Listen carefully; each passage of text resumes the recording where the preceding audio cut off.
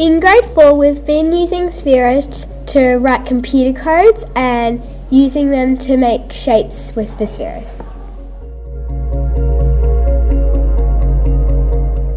We've discovered that we can use the Sphero to make art with the slow shutter photography app. Oh my god.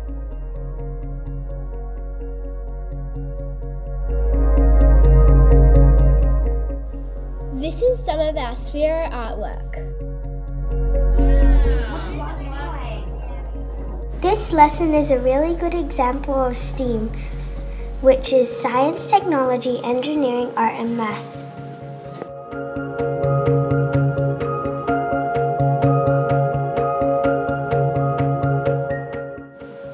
The artwork we produced was beautiful and we really enjoyed the process of making it.